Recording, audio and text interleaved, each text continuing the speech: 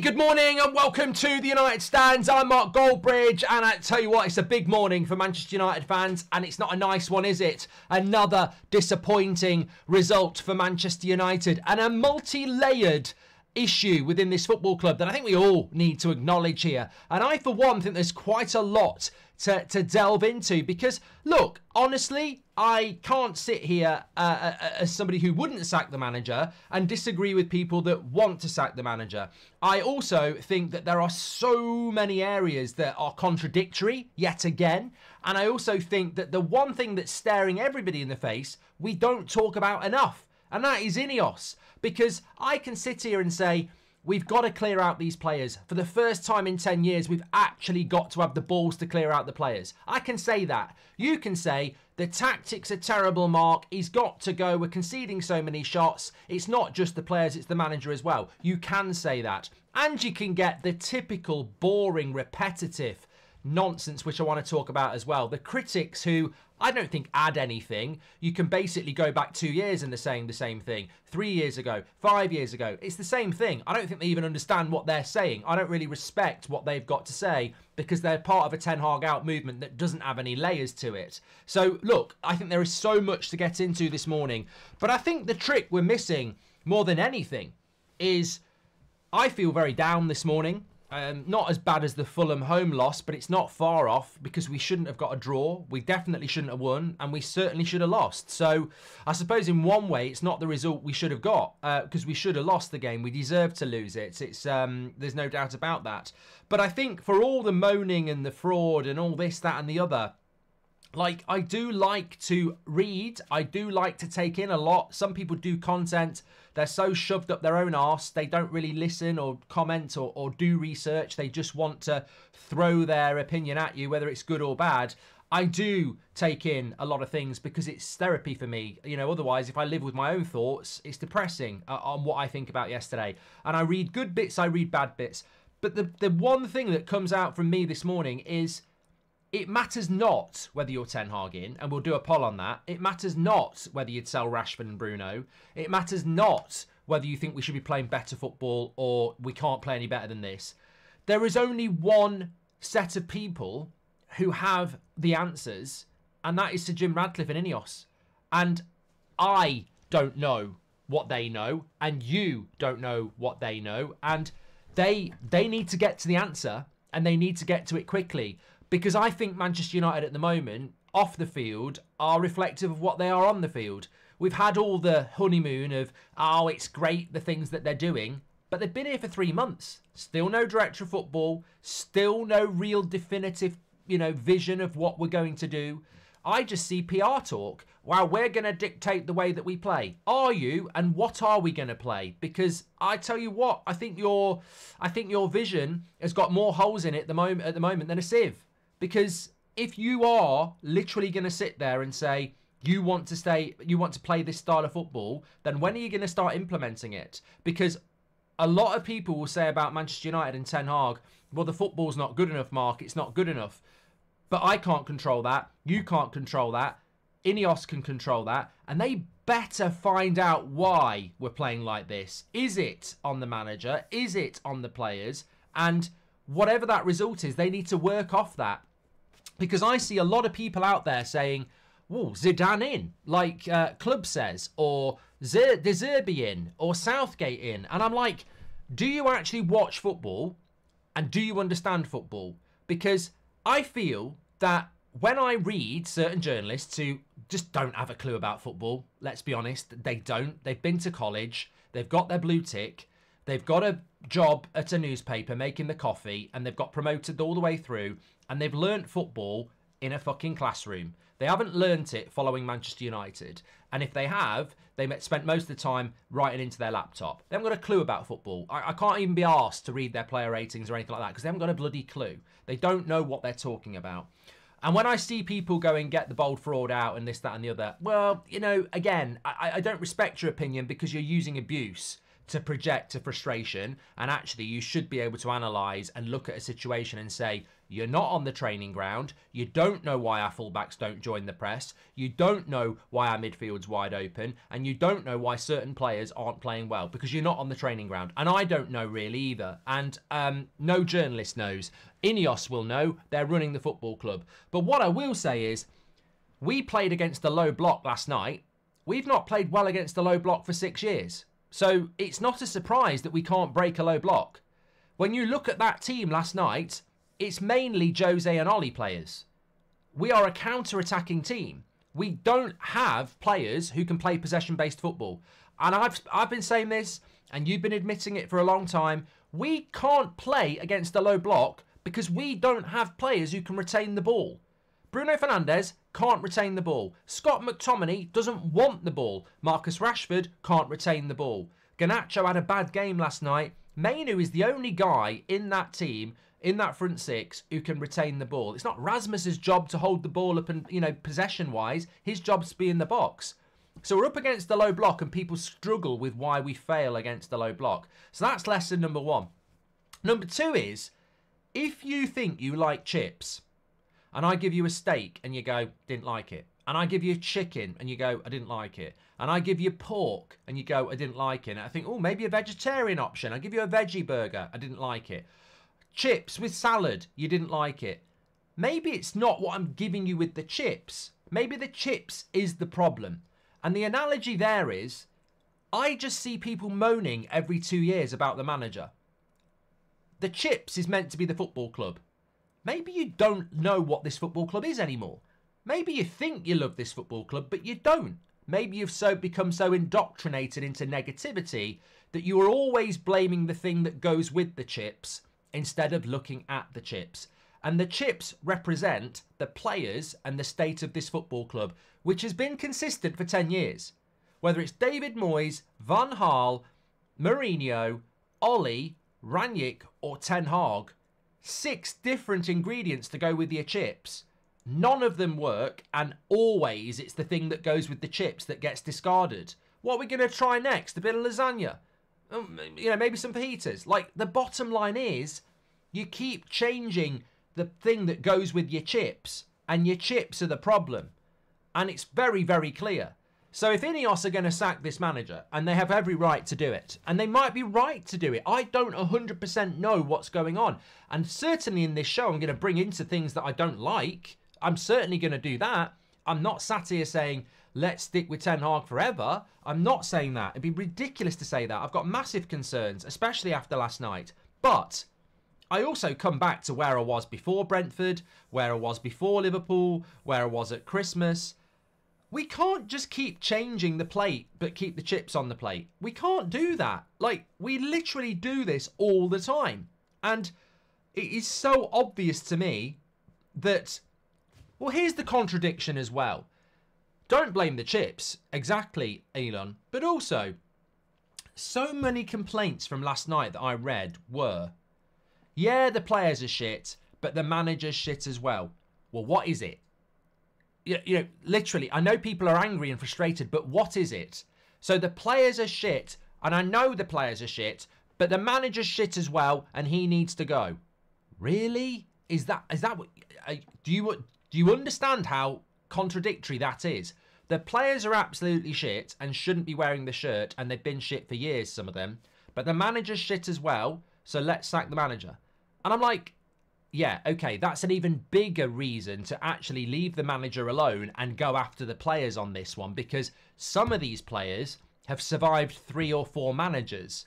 So maybe, like when Arteta, Arteta finished eighth, maybe we stick with the manager for the summer and have the clear out, which is so staringly obvious, I can't even speak. It's incredibly obvious. But, look, I can't be bothered with a Ten Hag, Ten Hag, Ten Hag in, Ten Hag out argument. I haven't got the strength. I haven't got the desire. What I do know is I don't have all the answers. And anybody who's screaming and shouting that they do. I mean, look, another thing I would say as well. Um, and there's so much good opinion out there. Like, you know, I, I, read people talking about the tactical setup of Manchester United. And yes, Raphael, the subs were awful, and I will come back to that. And I said it in the match reaction last night. I will come back to that. But 100%, I read, I consume, I accept, I acknowledge tactically, it's a disaster. And it's not just last night. Fulham was a disaster. Liverpool should have killed us in the second half of the FA Cup win that everyone was happy about. Tactically, it's an absolute disaster. And, you know, you get people out there, respect, you know, you're not a manager, you don't manage, you sit on Twitter, TikTok, YouTube, whatever, and you tell everybody about tactics and you do your little videos. Well done. You know, you've got your followers. You, United stand. I don't manage either. We've got our followers, we've got our viewers. So respect to that. I, I'm not going to slag it off. But what I would say is, you're not reinventing the wheel about Man United's tactics. When you when you say things like we press as a six, but the back four sit back and we got played through by Brentford and they're on our back four, we can all see it. Stevie Wonder can see it. When you say our midfield is too exposed, we can all see it. And what what worries me is there seems to be like there seems to be an obsession with things like um, let me just show you this because uh, we've got a good videos coming up from Beth later, but I, I'm going to nick this. People get obsessed with stuff like this, right? Oh my God, 31 shots 31 shots against Brentford. It's absolutely disgusting. You know, expected goals 3.1 to 0.5. Um, absolutely ridiculous. They had way more corners than us. Oh my God. Wow, get rid of this manager. Okay, yeah, you're partially right. But as I always say, where's your solution? Where's your solution? Because what terrifies me is that we focus on how many shots we concede, right? but we've conceded less goals than, uh, than, than teams who are above us in the league. I think we've conceded less than Spurs or, or, or somebody who's around us. So, but that's not my point. It's a bad point, that is, because I watched the game last night and it was luck that stopped us conceding four goals, not not defence. But when I, I, expect better of Man United fans, basically, I expect Match of the Day or Talk Sport or Sky to you know keep pumping up these uh, stats about how many goals we've, uh, how many shots we've conceded, because ultimately it's just a stat. What I want is the solution, and I, what I want is the reason. Okay, so be careful what you wish for, because if Ineos aren't clever, they will look at the moaning about the amount of shots we're conceding and go, well, if we bring Southgate in, he's quite defensive. It won't happen. And you bring someone like Southgate in, and suddenly you're playing shit football again. Like, I instantly can solve that problem. If that keeps you up at night and you're obsessed with the amount of shots we're conceding this season, let's get Jose back. We'll solve it overnight. And that's what I'm talking about. There's a lot of moaning, there's a lot of screaming, there's a lot of shouting, but it's just noise. And, and it's the same noise we've had for years. People moaning about what I actually think is the wrong thing. I don't think the amount of shots we're conceding is actually that relevant unless you've got unless you know the solution.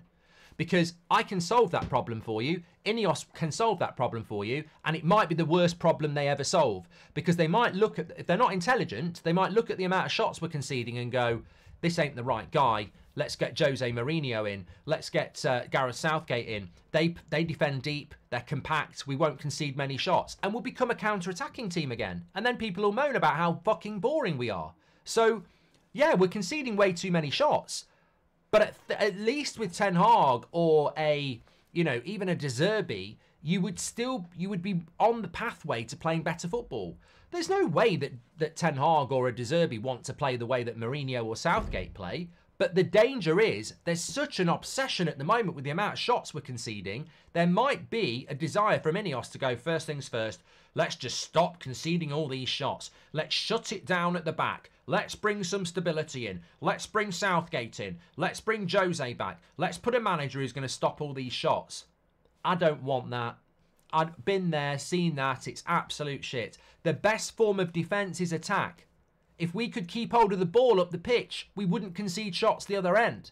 And I don't hear enough people talking about this. They're talking about how many shots we concede, but they're not talking about solutions. And it terrifies me that someone like Dan Ashworth or Berrada or Sir Jim will go, We're conceding too many shots, you know. We need to get defensive. Let's bring a defensive coach in. That'll make everybody happy. It will make me cry. We are conceding too many shots, but the solution is not to go and let these players off again. Because the, the style of football these players want to play, by the way, is defensive counter-attacking football. Someone like Bruno Fernandes, Scott McTominay, Marcus Rashford, Harry Maguire, Victor Lindelof, Aaron Wan-Bissaka, they're heaven made for deep counter-attacking football.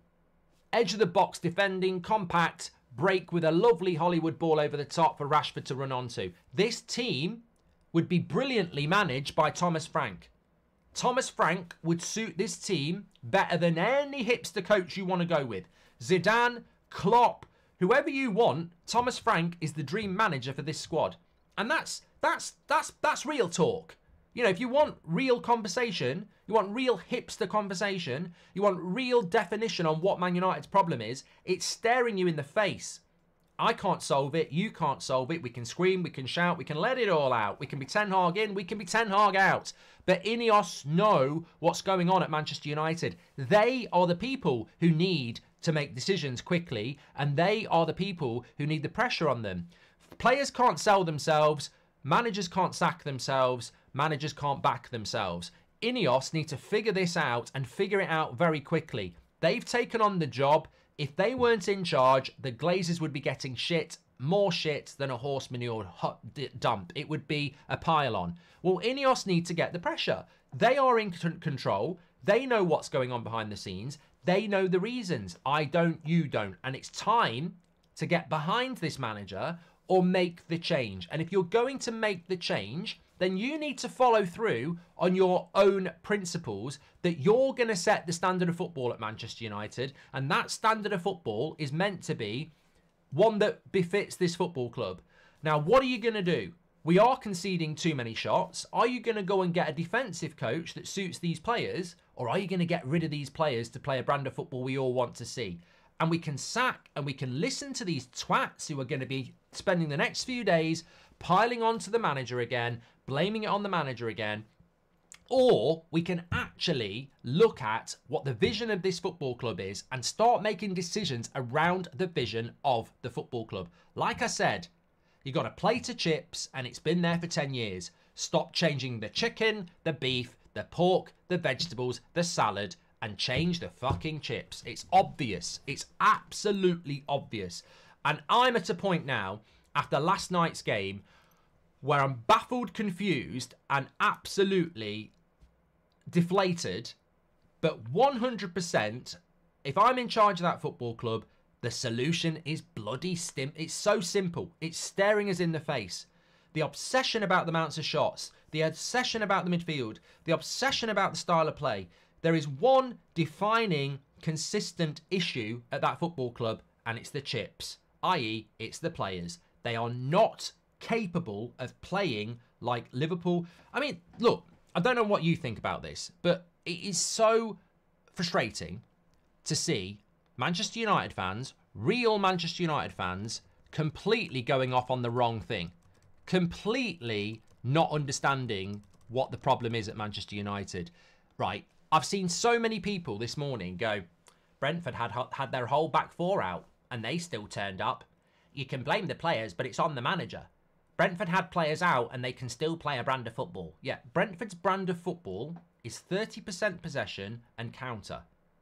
If you want to do that, we can do that against Chelsea and we'll play well. But we do that and nobody likes it. So don't compare Brentford's style of football to Manchester United for one. But for two, you you contradict yourself.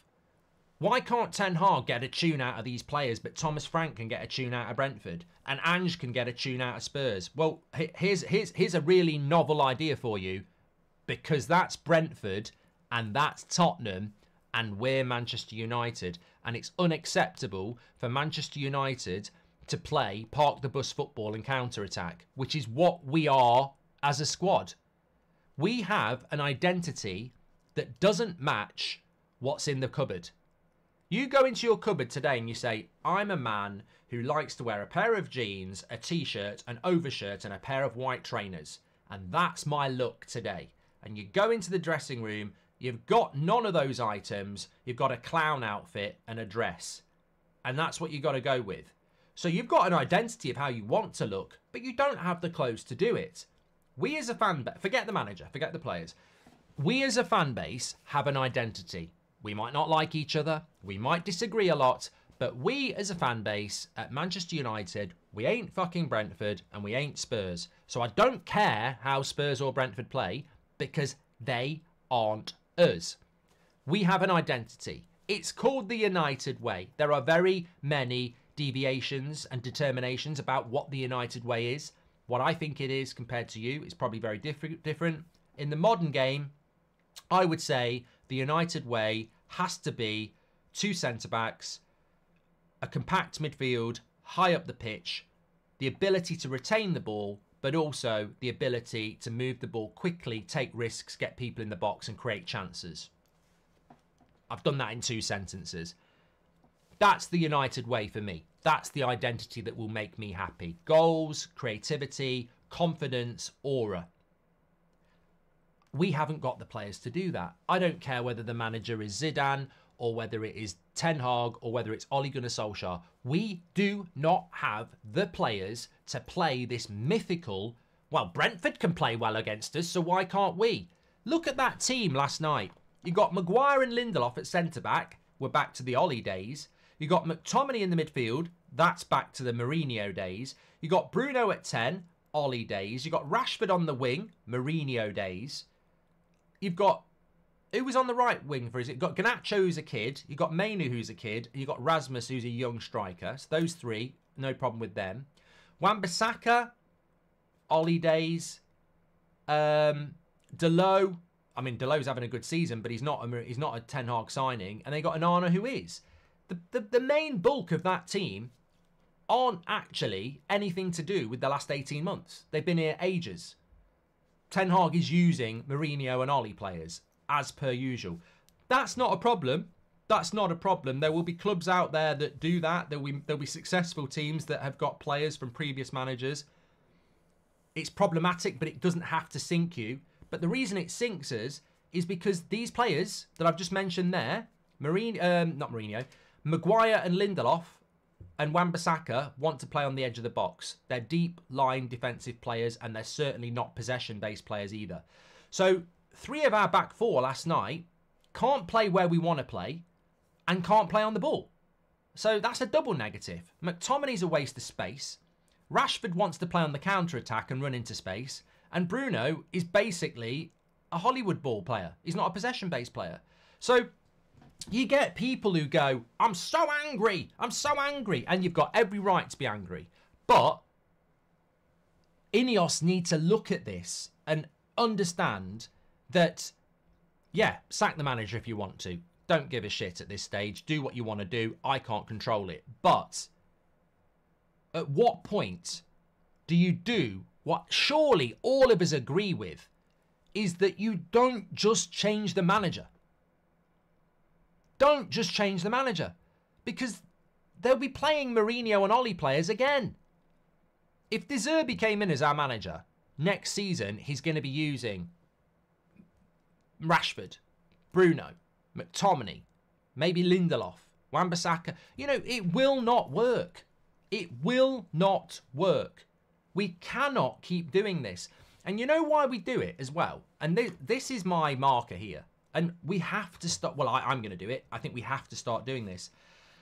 We have to start questioning the owners of this football club and the people who are running the football side of things. Because for 10 years, I've known and you've known that we need to clear the deadwood. You know, we've said it so many times. And the deadwood is not Donny van der Beek. It's not Anthony Martial. And it's not Christian Eriksen. The deadwood is in the first team. For some clubs, it's on the bench, but the deadwood's in the first team. I watched Brentford yesterday. I cannot believe how much they were up for it. And you can talk about tactics all you like. You can talk about formations, you can talk about selections, and you may not be wrong. But where you where you have to acknowledge is there is a minimum expected of a Manchester United player, regardless of tactics, and regardless of selections. And I do not suggest that anybody watches that Brentford game again. But it was so obvious that their energy, speed, and tenacity was double that of most of our players. That's not tactics. That that's on the individual. And it doesn't matter who you put in charge. We already know there are certain players that infect the whole team that you can't trust. I mean, we've got players on the pitch last night that played in that Everton game where Ole said some of these players won't play for the club again. Some of them didn't, but some of them are still here. And this has been going on for ages. Like, we played badly last night, but also some of those players were abysmal. Absolutely abysmal on the very basics of playing football, but also effort. I mean, don't tell me that these players can't play a five yard pass. Well, last night they couldn't.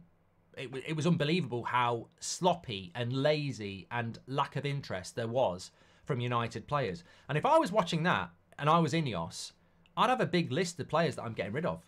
Massive list. But this is where I have a fear. I have a fear this morning. I fear that the uh, that Ineos and Sir Jim may well be a wolf in sheep's clothing. And what I mean by that is, I think this might be a pantomime and not an opera. I think this might be fake news. And what I mean by that is, I've watched Man United for the last 10 years.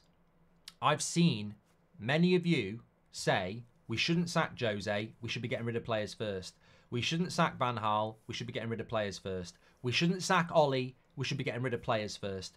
Rangnick's been thrown under the bus by these players, why is he losing his job? I've seen it. I've not agreed with it, but I've seen it. And I do agree with it now. Because what we've done consistently under the Glazers is we've ignored the problem and taken the cheaper option.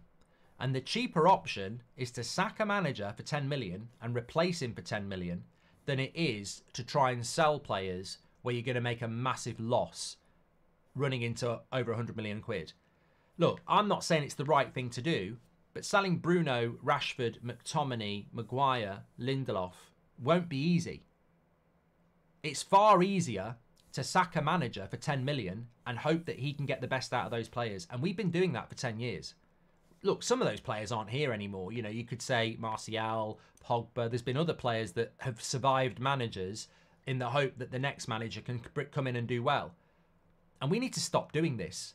And I'm watching this summer now, and I'm like, if Ineos start this next season with a new manager or Ten Hag, and some of these players are still here, then they're nothing. They're, they're no different that they're just Glazer facilitators. If they're genuine, if they genuinely are about we want to set a standard of football at this football club, we want to set a standard of professionalism at this football club, we want to play a brand of football that can challenge the likes of Man Cities and Liverpool, and we want an elite sporting mentality. I'm sorry, you look at that team last night, Rashford, McTominay, Bruno, all have to be at least contemplated to be sold this summer because none of them, none of them, none of those three players show an ability to play anything like Man City or Liverpool consistently with an elite mentality. At the moment, they don't, and for all of the season. And yet, I was told two weeks ago, none of those players are for sale. So, what are Ineos if those three players who played shockingly badly last night and have done for weeks and don't fit a style of football that we apparently want to play, how can they not be for sale? And how can a manager that comes in be successful if we are already keeping players that do not fit the way we apparently want to play? And this is what I'm trying to say. We can moan about the players, we can moan about the manager, and you're absolutely correct. But the only people who have the evidence that we don't have is Ineos. And they've told us they are going to create a footballing team that plays good football with elite mentality? Well, we'll find out in the summer because if they're serious about that, it's very obvious who needs to get sold, and I don't think they're going to do it. So it's over to them on that one because I don't actually think they're going to do it. Um, honestly, really don't. I think they're going to go with the cheap option again. I think that they probably will change the manager and we will stick with the same players. And look, there is a bounce there. Again, if you do your research, right, I'll guarantee. I can tell you the story. I can tell you the story, right? Sack Ten Hag, bring in Southgate. Sack Ten Hag, bring in De Zerbi. Sack Ten Hag, bring in Potter. Sack Ten Hag, bring in Zidane. I'll tell you what'll happen. We won't get the clear out because as soon as the new manager comes in, the usual suspects who've been letting us down for years will suddenly start trying again and they'll have a good season. And we'll have a good season. So new manager comes in, no, not really a clear out because a new manager will not get rid of players they haven't worked with yet. So everyone will get a second chance. The same as they did under Ten Hag, the same as they did under Mourinho, the same as they did under Ole. The same players will get the same chance again. We won't have a clear out. Everything will be brilliant for the first season. Oh, yeah, we're back. Man United are back. We will qualify for the Champions League because Van Gaal did in season one. Mourinho did in season one. Ole did in season one and Ten Hag did in season one. So all the failures all qualified for the Champions League in season one.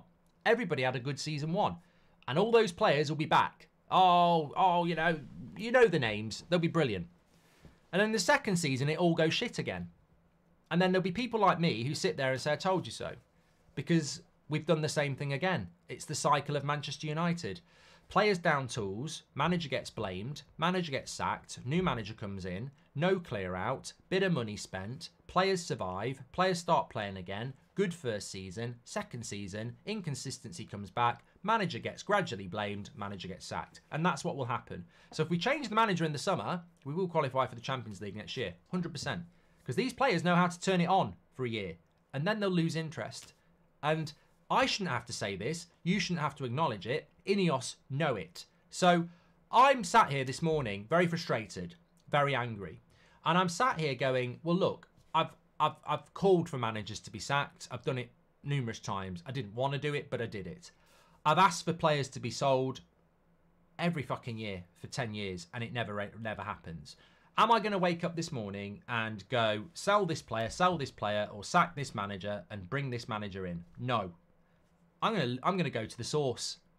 I don't actually know what's going on in the dressing room. I don't actually know why players aren't playing well. I don't actually know why Ten Hag is making silly decisions on substitutions. I don't have the details. I don't.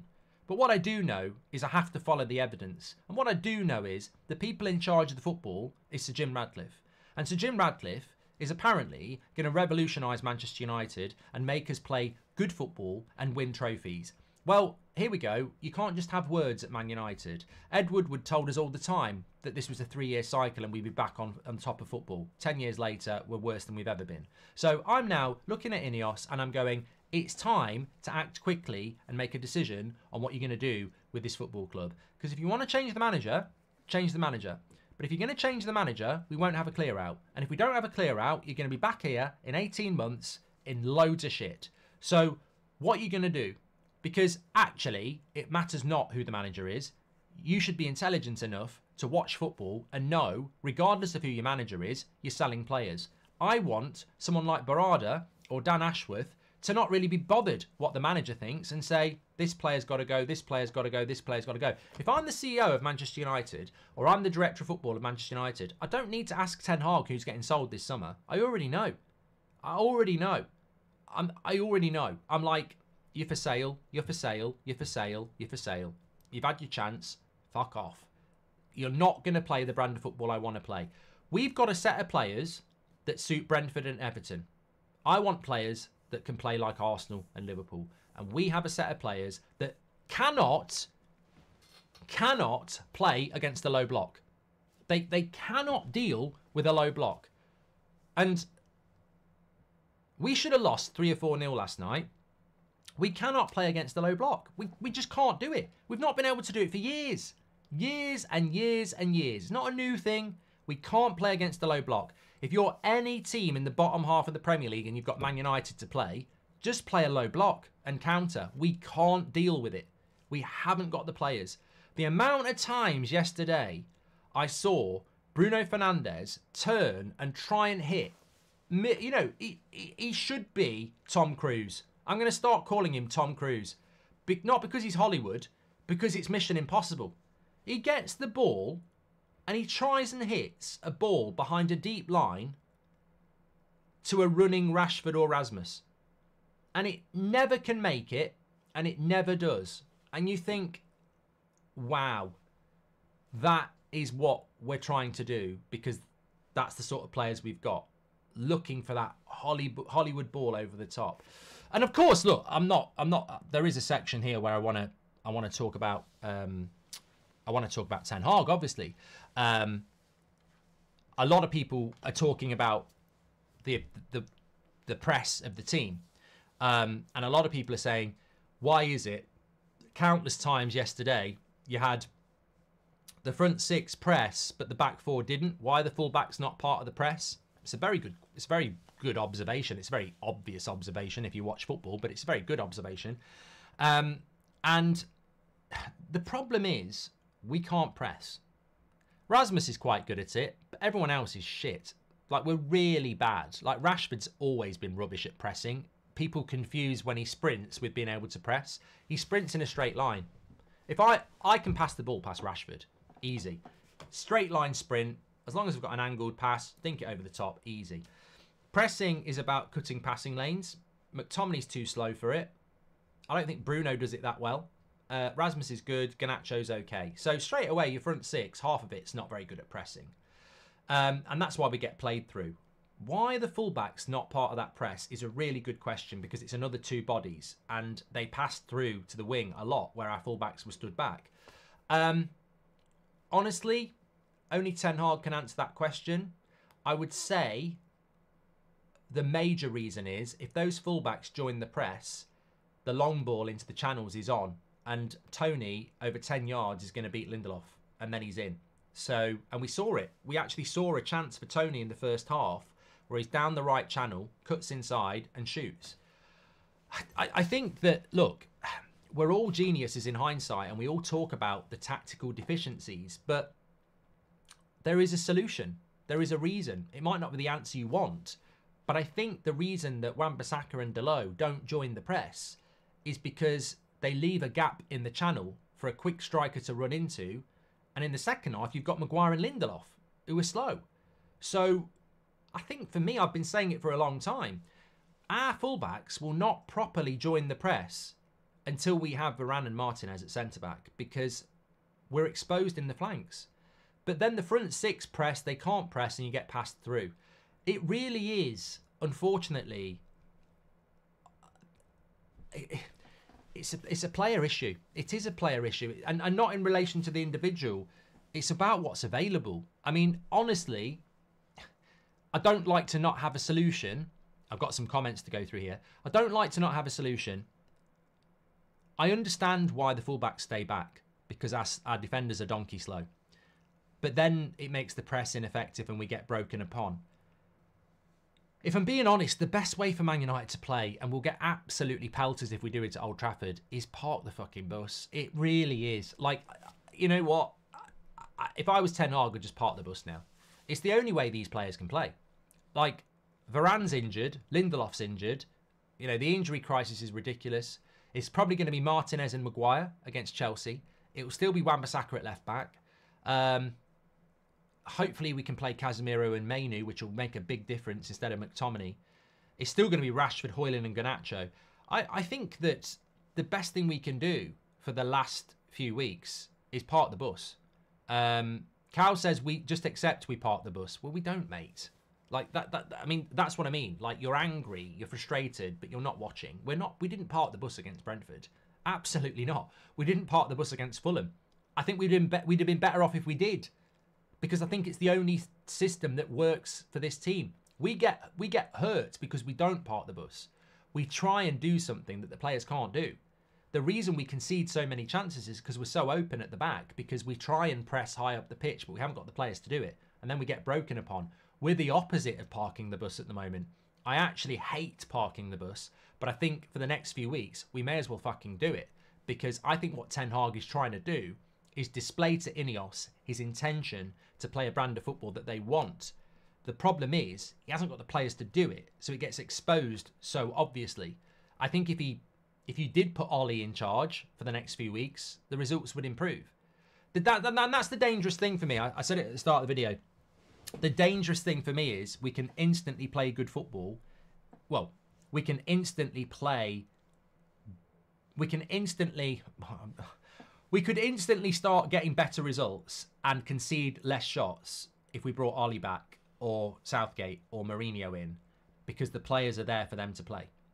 They would play a back four with two in front, wingers who attack quickly, Bruno who hits long balls, and it would work. It'd be fucking boring, but it would work because if you're going to sack Ten Hag, please employ Thomas Frank. I don't want Thomas Frank anywhere near Manchester United, but the, he is the manager. I've said it before and I got clipped, and it's true. There's only one manager that suits this squad at the moment in the Premier League, and his name is Thomas Frank. Go and buy Ivan Toney, bring Thomas Frank in, and we will finish sixth again next year. But we won't concede as many goals. We will counter attack against anyone who lets us, and we will defend on the edge of our box. This squad suits Brentford. If you want to play like Brentford, get Thomas Frank because this play these this team suits it. We are amazingly a club that has spent over a billion pounds in the last decade and assembled a, a glorified version of Brentford. We've got edge of the box defenders, defensive fullbacks, a midfield that basically can't keep hold of the ball, and an attack that thrives on counter attack. We are 100% one of the worst footballing sides in the Premier League. And we are 100% one of the worst footballing sides in the Premier League because we pay people hundreds of thousands of pounds who should be playing for Everton. They are counter attacking players who do not belong anywhere near the top six. And that is why we're not in the top, sorry, top five. We're not in the top five because we don't deserve to be in there. Um, the football is atrocious. Uh, we know the players are crap. Now Ten Hag might also be crap, says Ruben. But why should why, why would we change what might be crap instead of what we know to be crap? It's confusing, says Ruben. Exactly. Um, there's a lot of people out there that are confusing the fact that the players are crap and the manager's crap, and they want to change the manager. And yet, as I said, the plate of chips has been there for ten years. Do you want us to back the manager who loves Rashford? Says Ryan. I'm going to talk about this now. Rashford for me is the reason for all our problems. It starts from one person, one press. He shows no effort week in, week out. I mean, look, Jason, I don't want to make it about Rashford. It's boring. Um, you know, he's had his response where he's offended by people saying that he doesn't put a shift in. Um, I said it last night. I don't need to repeat it. I think his effort levels are abysmal. And if he's trying, then fuck God, he needs to retire. Like, he can be offended all he likes about people saying he doesn't put put a shift in, but it's all I'm sorry. I've seen Rashford at United for years. He ain't putting a shift in. He's just not doing it. Like, he can be offended all he likes, but he's not. Uh, if Ten Hag were to get the sack, thoughts on Xavi replacement, genius of the game? Ronnie, I, I, I don't mind. Uh, honestly, if if Ten Hag got sacked tomorrow, I, I wouldn't be screaming and crying. I'd just be like, fucking hell, we've done it again. And it wouldn't matter who the next manager is. Give it to Thomas Frank, give it to Southgate, give it to Xavi, give it to De Zerbi. I really don't care because nothing will change. Nothing will change.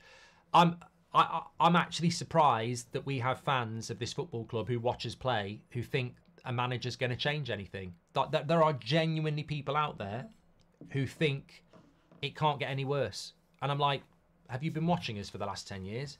I I don't I don't see like have you watched Brighton play? Have you watched Barcelona play? How is Xavi or De Zerbi gonna get Rashford, Bruno, McTominay to play like Brighton, Barcelona, or Lindelof or Maguire or Wan-Bissaka? It's not going to work. It's not going to work. It just you go and get a bricklayer round to build you a house and don't buy him any bricks. Instead of buying him bricks, buy him ice cubes and try and get him to build a house in Mallorca. It'll melt. It won't work. So, you know, you can bring the best bricklayer in in the world. If you don't give him bricks and you give him ice cubes, it's going to melt. And I don't, I, I genuinely, I don't really care anymore what happens with the manager. Ineos might sack him, they might keep him. But what they need to understand is I'm I and many other United fans are way past a shiny new manager. It won't work. And the new and, every manager is egotistical. So De Zerbi would walk in and go, "Hey everybody, the De Zerbi show's here. That last manager's a dickhead. Everybody like me. I'm going to get you to play really good football now, and it will work for a year. and then it will all fall apart. And it amazes me that we still have fans that are easily pleased with a short term fix. You know, a bandage on an open wound. Like, we need surgery. As Rangnick says, we need open heart surgery. What Rangnick said nearly two years ago still stands today. We need open heart surgery. And we keep putting a plaster on it. A new manager is just a plaster. It's not open heart surgery. The only time I'm going to get excited is when I see United clear out six or seven players that need to fucking go. And I'll tell you what, I'll be even more excited if they do it with a couple of big names because at this point, I wouldn't be sad. I'd just be like, all I care about is Manchester United. I couldn't give a toss about Player FC. I couldn't give a toss about managers. What I want to see is Manchester United put first. I want to see Manchester United styles of football with elite professionalism and consistency. And I don't care what the collateral is anymore. If it's Luke Shaw, if it's Garnacho, you know, I'm, I'm naming players I like here. It, it doesn't matter who goes to me, and it doesn't matter who the manager is. I'm tired of the quick fix. I'm tired of the hypocritical moaning. I'm tired of the abuse. I'm tired of the toxicity. The reality is, every single Manchester United fan should be sat here going, over to you, Ineos. Do your fucking job. Don't care about what you do with the manager. Don't care what you do about the players. Your vision is to get us playing good football. Do your fucking job. Because if you're just going to replace the manager and stick with the majority of these players, you're just the Glazers. What I want to see is big changes, big decisions. And if we don't get see it, they're just a shareholder to prop up the Glazers. Like, it's so obvious. And somebody said, what would you do this summer? Honestly, this week's big. If we lose to Chelsea and Liverpool, I'll have a different answer in a week's time. What I would like to see happen is I would like to stick with this manager for another year, but also, I'll be honest with you, am I sticking with this manager?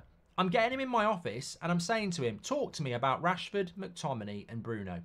I'm not saying you've got to sell them, but just talk to me about those three players. What do you think about those three players and the next year at this football club? And based on what he said to me about that, he'd be sacked or backed. If he said to me, all three of those players are a massive part of my future plans, you're gone. Now there's a bit of insight for you, isn't it? Because Goldbridge backs Ten Hag. He won't. He won't. You know. No. No. No. No. No. No. No. No. No. Not anymore. Not anymore.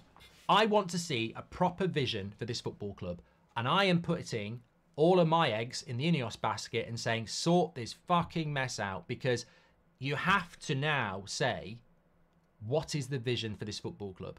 I want a new vision and I want a clear out. And I think the best way of achieving that is sticking with Ten Hag because a new manager won't do that. They'll come in and go, I'm going to give everyone a chance again, and I'm bored of that. But there's no point in sticking with Ten Hag if his clear out is not the clear out we need. What if Erik Ten Hag says, yeah, I don't want to get rid of Maguire. I don't want to get rid of Wan-Bissaka. I don't want to get rid of Lindelof. I don't want to get rid of McTominay. I don't want to get rid of Rashford. I don't want to get rid of Bruno. You know, if, he wants to keep those, and I, I would keep some of them, but not all of them. If he wants to keep those six players, you're gone. Because I may as well go with a new manager because you're just keeping the same problems here. I, I don't, I don't, you're gone. So it's not as clear cut for me on Ten Hag anymore because it depends what he wants to do. Now, I want him to stay and clear it out and be given the players that will players play better because I see I see what Ten Hag's trying to do, even though it's chaotic. I can see what he's trying to do. He does want to play two centre backs. He does want his midfielders to be part of the, his fullbacks to be part of the press. He does want to be creative. It's just not got the players to do it. So I would like to give him the players to do it. But I have to say, last night, there is something going on at that football club, and I've left it towards the end of the show on purpose. There is something going on at that football club that is, it needs calling out. And that something is player power. Like what is what is going on at that football club that certain players stay on the pitch for 90 minutes when you've got options on the bench that could change the game. And I don't understand still this morning why Bruno was still on the pitch, why McTominay was still on the pitch. I don't understand it. I don't understand it at all. You've got Mainoo who had to go to the left wing. You've got Eriksen who didn't even get on. And they're both number 10s, and we could have changed our number 10 who was playing abysmal. That to me stinks of fear and player power. And I don't know I don't know the truth because Bruno Fernandes is well liked around the club, but is Ten Hag scared to take his captain off? Is he scared to take Bruno Fernandes off? Because if he is, that's a big problem. Klopp's not scared to take off um, Salah. Pep's not scared to take off De Bruyne, whether it upsets them or not. So why is that happening? Um, obviously, people have said that about Rashford as well. Um, I just, I just, I'm confused by last night. I mean, and, and McTominay was absolutely invisible. Like you, you may as well have put Onana in the midfield and put Bayindir in goal and took McTominay off. I mean, that's just baffling as well. Why is it that every single Manchester United manager we've had ends up with a weird niche of not good enough footballers that they will not sub. And I, did, I don't believe in coincidence. Mourinho did this, Ole did this, Rangnick did this, and now Ten Hag is doing this. There's always one, two, or three players that it's baffling why they're still on the pitch after 90 minutes, and they are. And I just don't get that because Mourinho's a strong character. Ole had nothing to lose, Rangnick was on trial, and Ten Hag is a bit of a dictator. So why is it with every one of those managers, there's two or three players that it baffles you how they play? And I just think, is there is there is there involvement from higher up? Is it player power in the dressing room, or is it something else? And we've spoken about this for years. I think we even spoken about it with Van Gaal. There's this weird thing at United that doesn't happen at the other clubs whereby certain players keep getting picked, don't get subbed, and yet they play badly. And it wouldn't happen at Liverpool, and it wouldn't happen at Man City, but it happens at Man United, and it's happened for years. I don't know whether it's contracts, I don't know whether it's player power in the dressing room, and I, or I don't know whether it's people from higher above, but something's weird there. Like something's really weird there, and it reflects so badly on Ten Hag. It does. Like you know, even I this morning was like, if they sack him, it won't surprise me. But there's there's stuff going on that's not acceptable. Like a manager needs to manage, and I don't think um, Robert McCormack says I think he just believes they need to stay on. Robert, that's that's terrifying then, isn't it? Because like Bruno, put him on the right wing then bring a new number 10 on, but keeping him at number 10, which is baffling. Klopp and Arteta got time, says Tommy. If they get rid of one big name, it might shake up the others to perform, says Stuart. Well, Stuart, on a very basic level, if you drop Bruno Fernandes against Chelsea and you start Mason Mount, it sends a message that might give everyone else a kick up the backside. So why not do it? Nobody should be bigger than the football club. Uh, Ray says, correct on Thomas Frank. We play counter attacking football because these players can't play any different. And they can't, Ray. You're absolutely right. They can't. They can't. Like, it's not even offensive to say Bruno Fernandes, Scott McTominay, Marcus Rashford cannot play possession based football. They can't do it. They don't have the ability to do it. It's like asking Harry Maguire to sprint as quick as Kyle Walker. He can't do it. He doesn't have that attribute, and these players don't have possession-based football attributes. We're a mid-table club. Ten Hag is overperforming, says Nim. Well, Keen, you're right. I think we should be where Chelsea is. It's more more likely for the players to be inconsistent than the manager. Insanity is doing the same thing and expecting a different result. We change the manager and keep the players and expect results to stay the same. It's that it's that plate of chips analogy. You can keep putting a burger or a steak or a chicken breast or whatever with the chips the chips are the problem, and we need to figure this out. We know the players are crap now. Ten Hag might have done that one from Ruben.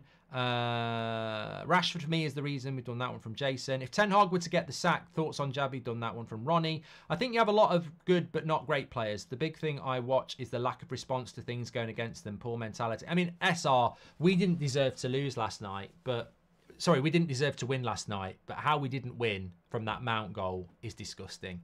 Um, and that's on the midfield again, by the way. In a line on the six yard box, not looking for the cutback. How many goals have we conceded this season from cutbacks? How many goals have we conceded from cutbacks in the last five years? Our, mid- our midfield can't mark. They don't know what they're doing.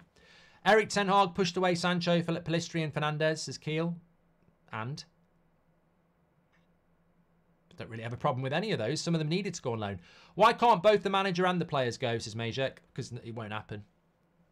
I don't think it's ever happened at any football club and it won't happen. Not easy to clear. Financial fair play and players on contracts they won't get elsewhere. Patience, something the media had with Arteta, not with Eleven Hard. Clear the boards, says Epiphany. Uh, Erik Ten Hag out, but can't name another to come in. Clown fans, says Pizza. Fans need to realise that the players need to go out and perform on the pitch, but they don't. Um, and the fans look for a scapegoat, says Philip. Yeah, I mean, yeah, I mean, I, I read I read some of the headlines. Get rid of this fraud now. Sack Ten Hag, this, that, and the other. And I'm like, it's amazing, isn't it? Because if we'd won with the Mount goal, those headlines wouldn't be there. It's amazing how we're at that stage already where one result changes a whole um, fan base. Um, in fact, look, Ten Hag in 60%, Ten Hag out 40% in the poll this morning. After the Liverpool game, it was 85% in, and 15% out. So one game changes a massive swathe of our fan base. And when you look at the game, only two players came out of the game with any credit. Onana and Mainoo. So the players don't turn up and fans turn on the manager. It's true. I'm, I'm not saying it's right or wrong. I'm just saying, and, and, and you wonder, you you wonder why I question what those players are doing on the pitch. Like they're not thick. They've they've played the game. They know. I've seen Chelsea players do it 10 years ago. Stop playing for the manager, manager gets sacked. They didn't play for the club last night. And, and also, I've said that before. Stop, stop. I'm an idiot. Stop saying they're not playing for the manager because it's not not playing for the manager. It's not playing for the club. Some of those players didn't play for you last night. They didn't play for the badge. They didn't play for the club. They didn't. Forget the tactics. Why were Brentford quicker to every tackle? Why did Brentford win every tackle? Why did Brentford pass five yards better than us? Like three principles that you should expect no matter what the team energy, concentration, and desire. And Brentford had it in bucket loads and we didn't. They didn't turn up. They didn't turn up last night. Um, look, conspiracy theory. Did Maguire, Rashford, Shaw, come back from the England camp and go, we'd like Gareth, come on. Conspiracy. I don't know. Something happened over the international break where they went from this massive energy high against Liverpool to let's not try against Brentford. Um, is Erik Ten Hag football too specific? Says Keel. We don't have the players to play it. First donation, I listen to you here and on the podcast as well. Keep up the good content, says Nathan. Thank you very much, Nathan. It's a myth McTominay sprints in the last five games. I've bet for my friend £5, ta- uh, £5 each time he sprints. I've paid him £5 in five games. It's a myth. He's a workhorse. I think he's been crap for a long time. Common, actually. I don't really understand what McTominay's doing. If the plate of food is crap, I send back both the chips and the steak, says Rory C. Madrid, Bayern, Milan, Napoli, Chelsea all changed managers more than United in the last six years and rebuilt as well. Your argument is defunct and your bias is evident, says Radu.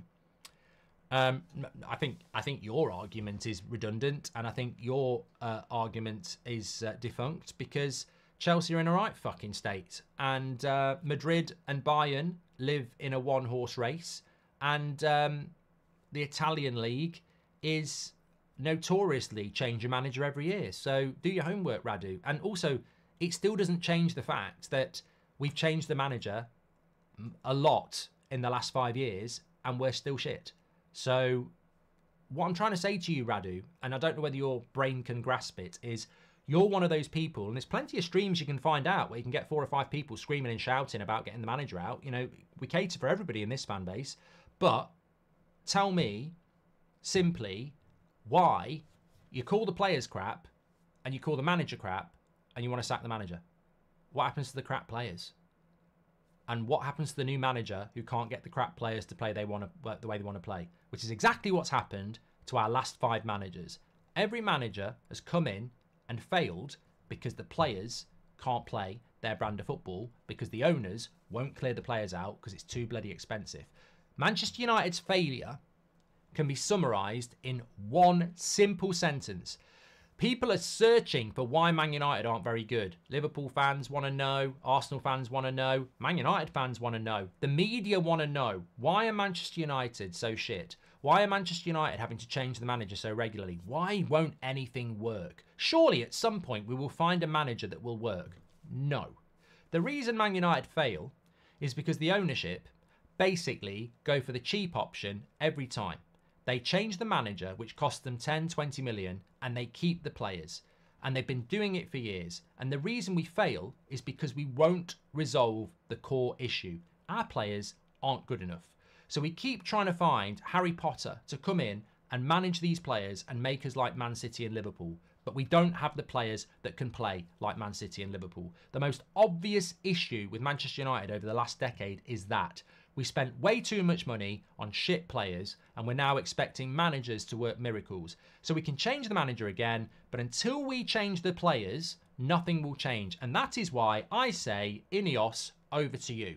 Because are you the Glazers or are you genuine? Because if you're genuine, there's only one place you're going to change things first, and it's the players.